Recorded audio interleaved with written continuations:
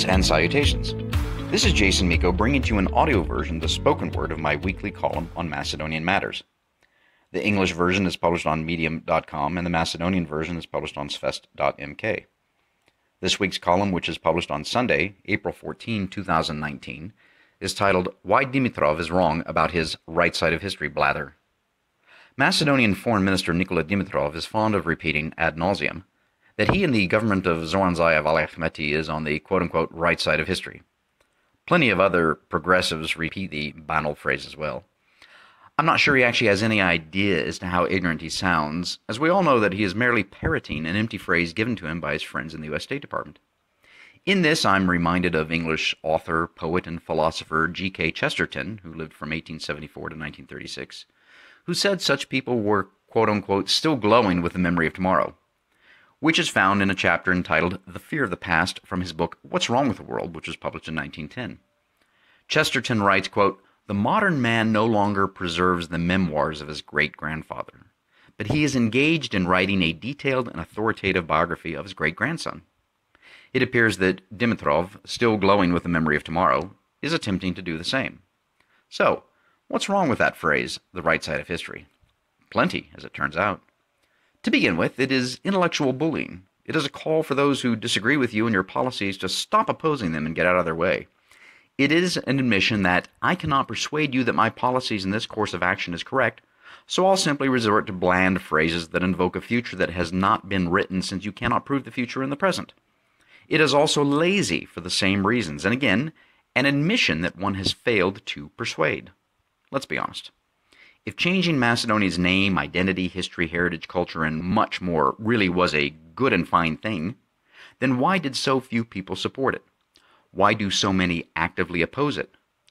Why do present tense so few people support it? Why do present tense so many actively oppose it? Why did Nikola Dimitrov and the government of Zoran Zaev Al fail to persuade the majority of Macedonians that it was a good thing? The reason because it isn't a good thing, and in fact, it is a very bad thing for a plethora of reasons. In another way, this phrase of his is tyrannical. Chesterton said that the, quote, new tyrants will invoke the future, unquote. Dimitrov not only shuns the past, but he also believes that the past, especially Macedonia's past, is filled with great evil and great sin. And while every country and people have wrongs and sins in their past, there is also much good in every country and people. In Macedonia's case, it was the men and women who, for generations, fought, sacrificed, bled, and died for an independent Macedonia, not an independent fill in your directional adjective here Macedonia.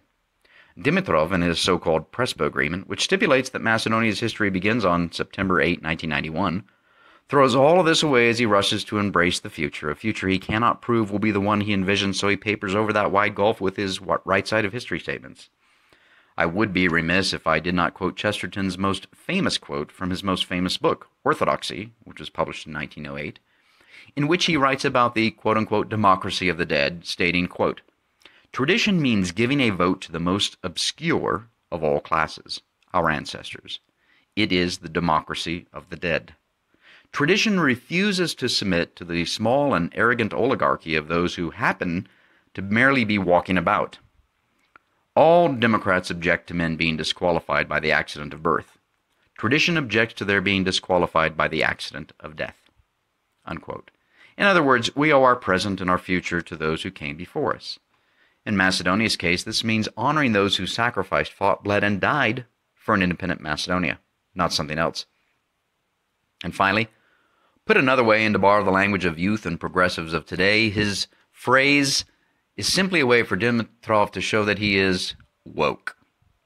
Speaking of the past and the debt we owe to those who came before us, Stevo Pendarovsky, the presidential candidate of the ruling Citizen Dui Zaev Ahmeti coalition, was recently quoted as stating his campaign for president is based on the so-called colorful revolutionaries that work to install Zaev Ahmeti and bring about the change of Macedonia's name, identity, and much more. The colorful revolution that Macedonia experienced in 2015 2016 was based on tearing down Macedonia's past and history and replacing it with something new, in Macedonia's case, a new name, a new identity, a new history, and much more. But another revolution is not needed in Macedonia. What's needed is restoration. Not just a restoration of Macedonia's rightful and rightfully chosen name, but a restoration through a renewed pride in and understanding of Macedonia's history, identity, heritage, culture, and much more. Macedonian identity, and thus the Macedonian state, the Republic of Macedonia, cannot be strengthened by diluting that identity.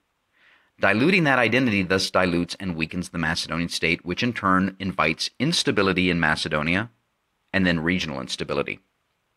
This is the odd thing about those preening on and on about the so called Prespa Agreement and how it should be a model for the region.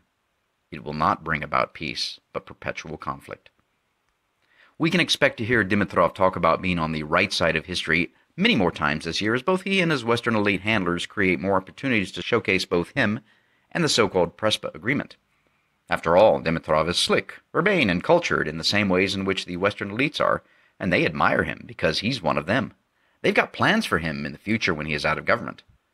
Zoran Zaev, on the other hand, with his Stevo Pendarovsky, you are the anchor that will pull us forward comments, is going nowhere. He is the village idiot.